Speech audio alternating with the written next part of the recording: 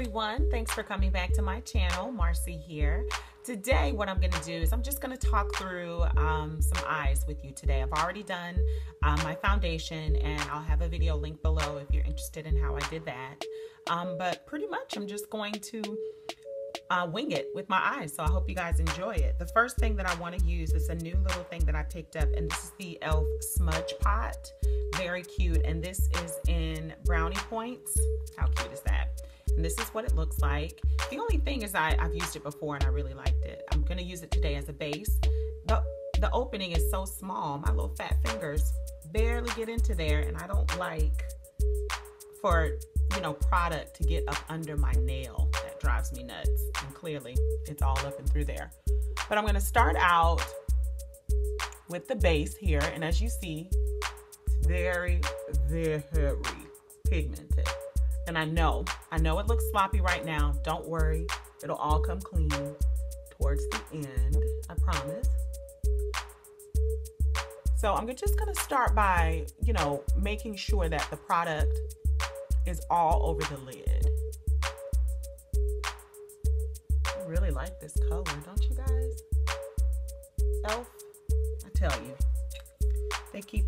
good products for the low. I think that was no more than maybe two bucks or so. All right, so I have that there. Now what I'm gonna do is I'm gonna start the blending process. I'm gonna start with this um, eyeshadow brush that I got in my Vice palette just because I think I'm gonna use that palette today. And I'm just going to start spreading this product around. And it is very, very creamy, as you see. Well, I don't know if you see, but Lord Jesus is creamy. It's like putting lipstick or something on your on your eyelid. And I mean, I don't know if that's a, a bad thing, not necessarily a bad thing, but we'll see when it starts to mesh with the other colors that I want to use today. All right, there's that. Now, I'm gonna just take Kleenex and clean that up a little. All right. I know it's gonna bug some of you. All right, so that's very pretty. We have that there all over the lid. I'm just gonna look real quick to make sure it looks in real life the way I want it to. All right, next I'm going to, um, I think I'm gonna go with a little bit of a plum color and I have my Vice palette here and I'm gonna, I think I'm gonna dip into that purpley plummy color. And I'm gonna use the flat tip because I don't want to mix the colors just yet as far as blending is concerned. And I'm just going to use this in the outer V and I'm gonna let it come in just a bit. So if you see what I'm doing here, I'm just kind of placing the color. I'm so sorry that my lighting is going wonky. Anytime overcast outside this happens. But I didn't want that to stop me from filming today. So you see, I'm gonna take just a little bit more, get that in there, nice and pigmented. All right, so that's that. I just place that color and, and if you can see, it adds a nice little duo chromy kind of look. Right now, it's purple and brown. Um, it's pretty, but you got to definitely go back in with that blending brush and your blending brush is a fluffier brush. The flat ones are basically for putting down that color. The fluffier brushes are for blending that color out. So what I'm doing here is I'm trying to merge the colors together so that it is seamless and that they melt into one another versus purple and brown. You got it? I hope so, people. All right. Okay. Now, I'm not going to go too crazy because I'm not a crazy person with eyeshadow. I'm not going to use 80, 150 billion colors here. So now I'm going to choose my brow bone color. And my brow bone color, I think I want to warm it up just a little bit. And so I'm going to go to the uh, Lorac Pro palette and I'm going to use that peachy color there. It's called Nectar. You see that nectar color? I'm going to take that, take again, I wiped off the brush a little bit and I'm going to flip it over so that I'm not going to the purple side. Flip the brush over and I'm going to dab it in and then I'm going to place it right up under here. Since I have so much shimmer happening with this eye look today, I wanted to try to keep that brow bone uh, as matte and chilled out as possible because the eye look in and of itself is pretty glimmery. Got it? All right, so now what I'm gonna do is I'm gonna take an even flatter brush that has like a pointy, you see that? And I'm gonna now, I'm gonna go up underneath my, um, my eyelid, not my eyelid. I'm gonna go at the bottom, okay? My words aren't working. I'm gonna go back into that purple and I'm going to just dab, dab, dab it, and I'm going to take it underneath just like this. Now I'm going to mix this with the paint, um, the same color that I used, that paint pot, but instead it's going to be an eyeshadow form, and, and you know, all palettes have that glittery bronzy color.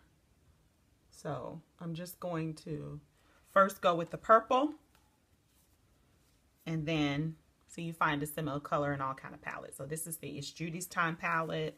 And you see that has a little bronzy. This is the Vice, and that has bronzy there. Okay. So just take, pick, choose a palette. You all got a glittery, goldy, bronzy color in there. And I don't want to put the paint pot under there because it's so liquidy. So I'm just going to take that in the ooh, inner corner. just like that.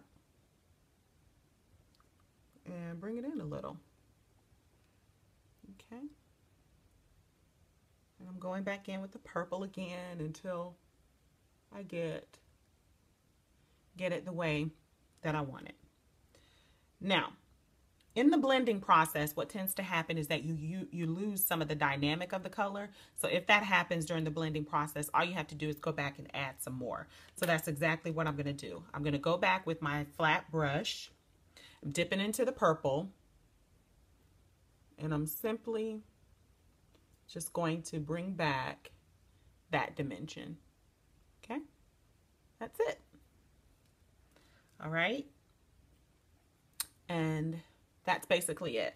Now, one more thing that I want to do, since that I put that e.l.f. paint pot there, any eyeshadow that I put over it is going to stick like glue. So I'm going to take just a little bit of Lucky, which is a goldy color, and I'm going to press it down. And I'm going to highlight even more. See that?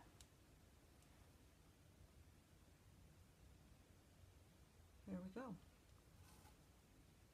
Look how pretty, in my opinion. That is. Good. Just so pretty. All right, that's the eyeshadow, okay? Now we're gonna go in and I'm going to put some um, eyeliner. First, I'm gonna put the eyeliner on the bottom because I think that will make the eye pop even more. With this kind of like this smoky purple look that we just did here. Okay, you see how it opened that up a little bit? And now we're gonna go on top, of course, with some liquid eyeliner.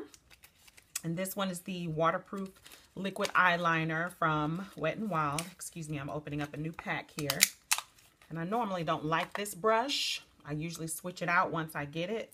But since this is new, I don't have my old one here and this is ultra black. So I'm gonna go in and do the best I can with this this brush. I don't I don't like this one because it's so stiff.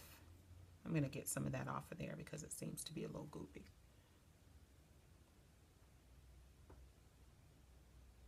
All right. And I'm just gonna create, I'm sorry, with that mirror all in your face.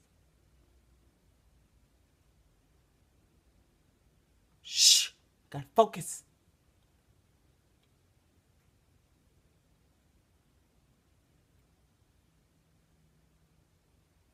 Nice little wing there.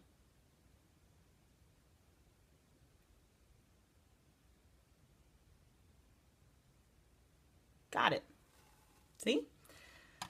Whew, that was like surgery, guys. so I'm going to do the other one off camera. All right, so now I'm going to go in with the telescopic, um, and this is in black, mascara. And I'm just going to load up, load up on some mascara. Let me go slow, because you know I always get mascara everywhere.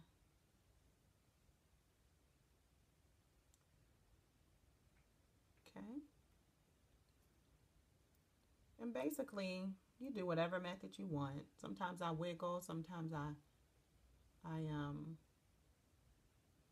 I just do it like this and keep going over it and over it and over it. Sometimes I take it from the end and twirl it out like that. Sometimes that works. Just whatever, whatever's your flavor. And whatever is your favorite mascara. Okay, so I'll keep loading it up. I'll be right All right, so here is the eye look. I hope you can see it. I really enjoy this um, this combination of colors with the purple and the bronze. Um, it just it's it's a combination that I never really tried before, and I am really enjoying it. Okay, so the last thing that I'm going to add, because pretty much the rest of my face is done, excluding the lips, and I'm going to add the Jordana Modern Matte Lipstick in Matte Dare. I'm going to clean out my... I tell you, that paint pot, it gets all up under my nails. I can't stand it, y'all. I cannot stand it. All right, so let's get into the lips. Mm. All right, looks like that. Of course, that's not all new because I have been wearing this sucker. If you follow me on Instagram, at Marcy one Marcy JD, you'll see. I use it all the time. All right, I'm not going to use a lip liner because I don't have one here. so we're going to wing it. And before you say it, I already know it's a bit much with the eye, but I can't resist. I got to have it. Sorry with the mirror, but it's hard to see myself in the camera.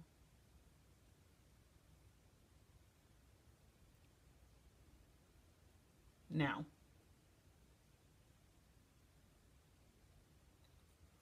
these lipsticks are very drying, so you have to know that they will cling to every dry patch known to man.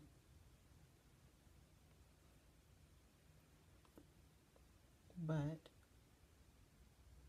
just be careful if you don't have a lip liner and get it on there. All right, well, this is it. This is the final look. I hope you enjoyed it. I hope it was fun for you. Let me know if you like these little talk through uh, makeup looks, and I'll do more for you. Until next time, you guys, if you have something nice to say, say it. If you don't, Keep it to yourself. Peace.